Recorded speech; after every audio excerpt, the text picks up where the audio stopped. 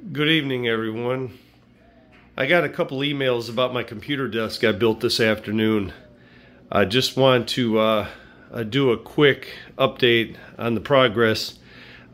This is the radio desk that I built where I, I do all my, uh, my talking.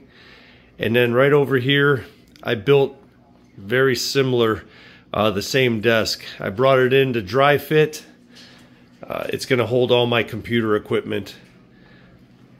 Going to have a couple monitors, a new printer, uh, gaming uh, PC to help me out with my uh, my live streams. Uh, my computer here, my laptop, is about 10 years old. It's time to update.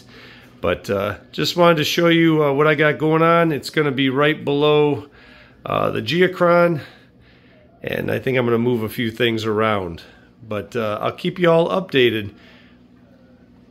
I hope all of you have a beautiful weekend. God bless, my friends. 73s from Cleveland, Ohio, NX8T.